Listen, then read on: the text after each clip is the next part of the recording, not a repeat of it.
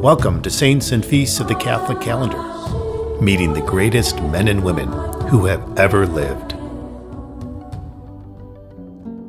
May 21st, St. Christopher Magallanes, priest and martyr, and companions, martyrs, 1920s. A Mexican bloodletting. The governor of Mexico's Tabasco state in the 1920s, Garrido Canabal, was so insanely anti Catholic that he named his three sons Lenin, Satan, and Lucifer.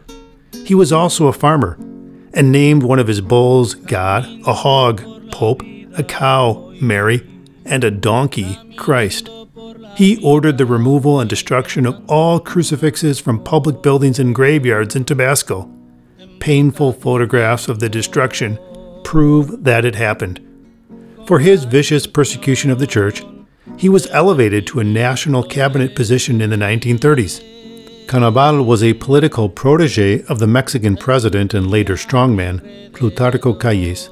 Calles was an illegitimate child, born to unmarried parents. Calles hated being called an illegitimate child and especially resented the Roman Catholic Church for this title of illegitimacy. In time, Calles became a devout believer in the religion of atheism eagerly shared his beliefs with others, and put great energy into evangelizing others to his side. As governor of the state of Sonora, he expelled all Catholic priests.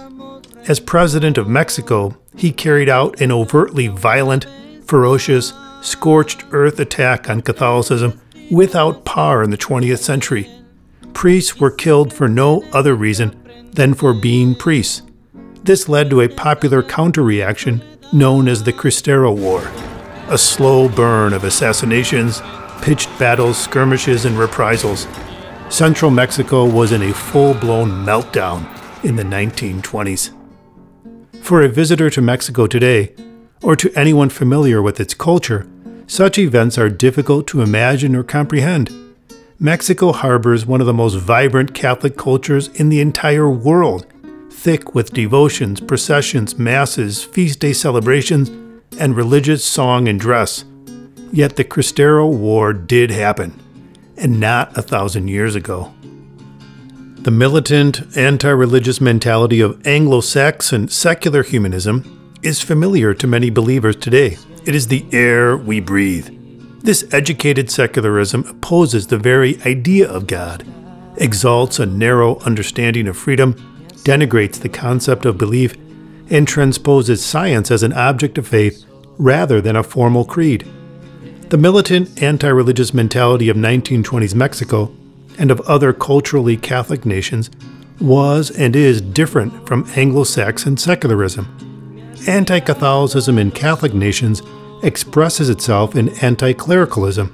Hatred is unleashed against bishops and priests and their instruments of ministry altars, crucifixes, vestments, rosaries, statues, etc., not so much against creeds or ideas.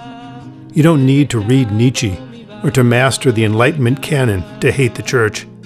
Whereas Anglo Saxon secularism wages its battles in the higher echelons of university classrooms and the courts, Latino anti clericalism is not too complex.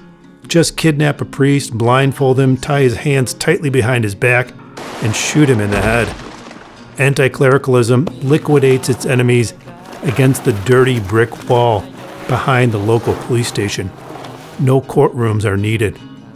Today's saint, and the others canonized with him, were caught in the storm that was Plutarco Calles.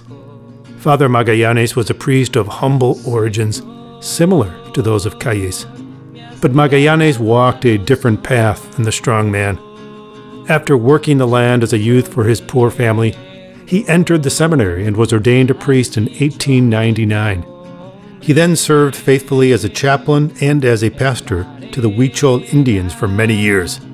By middle age, he was a priest of some stature. But the otherwise ordinary arc of his life took an extraordinary turn when, on May 21, 1927, he was on his way to celebrate the feast of St. Rita of Cascia in a small village. A shootout between Cristeros and federal forces near the village led to Father Magallanes' arrest, along with a brother priest, Father Caloca. There were no accusations and no trial.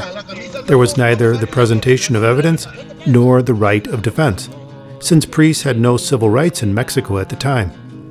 On May 25, 1927, the two priests were led to the courtyard of a municipal building for what always happened next.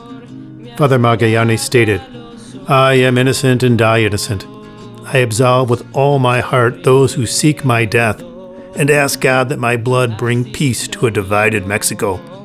The priests absolved each other, spoke some few words of comfort, and then were shot to death by a firing squad of fellow Mexicans in soldiers' uniforms.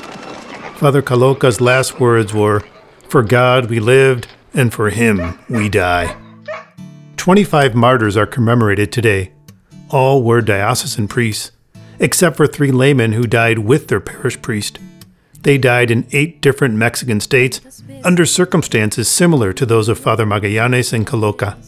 One was hung from a mango tree in a town square, another from an oak in the country. One was shot for not revealing the confessions of his co prisoners. One was bayoneted and beaten to death. One was shot and his body placed on railroad tracks to be mutilated by a train. The executioner of one priest refused to fire his rifle. He was shot right after the priest. Pope St. John Paul II beatified the group in 1992 and canonized them in the year 2000. Father Magallanes, your quiet witness and noble death are an inspiration to all who suffer physical violence for the faith in unknown ways and in unknown places. May your intercession and courage be an inspiration for all priests, laymen, and religious who are tempted to bend in the winds of persecution. Amen.